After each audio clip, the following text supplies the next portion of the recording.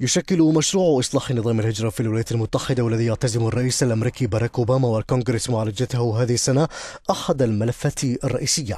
ولأجل تحقيق هذا الإصلاح اقترح عدد من كبار أعضاء مجلس الشيوخ الأمريكي تسوية أوضاع عدد من المهاجرين المقيمين بصفة غير شرعية في الولايات المتحدة وعددهم 11 مليون نسمة.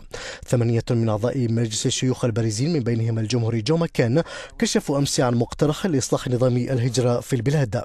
ونص الاقتراح على على وضع خريطة طريق للحصول على الجنسية ولكنه سيربط إعداد مثل هذه الخطة بجهود تجديد الرقابة على الحدود لمنع دخول المهاجرين غير الشرعيين في المستقبل. وتصور هذه المبادرة السباق الذي بدأ منذ انتخابات نوفمبر الماضي التي أدرك خلالها الجمهوريون على ما يبدو تراجع التأييد لهم بين الناخبين المتحضرين من أمريكا اللاتينية. ومنذ ذلك الحين تخطى الحزب الجمهوري الحاجز الذي كان يمنعه من التطرق إلى هذا الموضوع وأدرك العديد من كبار أعضائه أن الوقت حان للإقرار بأن هؤلاء المهاجرين غير شرعيين يؤدون دورا اقتصاديا مهما في البلاد وأن الدعوات إلى طردهم لا تؤخذ بالواقع على الأرض.